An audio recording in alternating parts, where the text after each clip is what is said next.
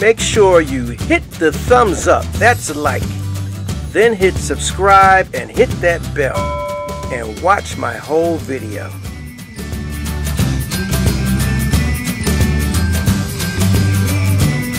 Hey! Would you like to see me create a mandala pumpkin?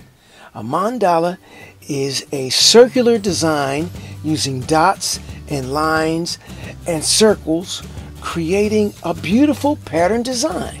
I've seen many YouTube creators create these on rocks, on black paper, and they're just beautiful. I wanted to see if I could create one on a pumpkin. This is my last pumpkin for the year 2021. So why don't you just watch? For the month of October, I've been creating art dealing with pumpkins.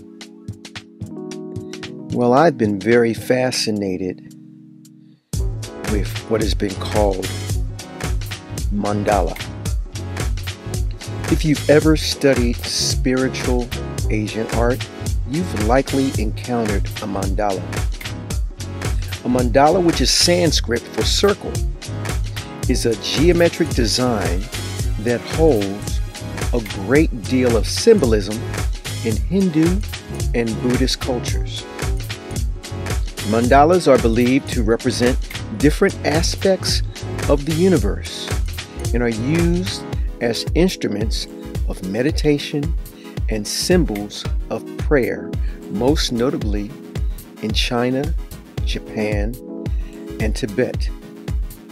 In their most basic form, mandalas are circles contained within a square and arranged into sections that are all organized around a single central point.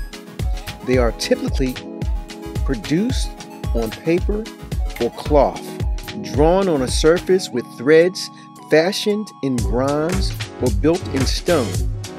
While extraordinarily as a standalone work of art, mandalas hold symbolic and meditative meaning beyond their vibrant appearance. I am a student of art. I have just recently started my investigation into the art of creating mandalas and creating mandalas digitally. This is one of my first endeavors and investigations into creating a mandala, but most definitely not my last. I hope that you enjoy my mandala